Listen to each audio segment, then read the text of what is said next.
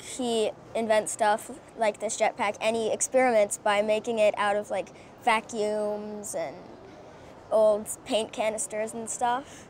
So he's pretty amazing.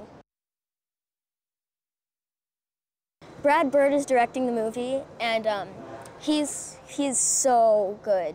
Just he's very specific in telling you what to do and um, he gives you really an image of how to do it and sort of directs you.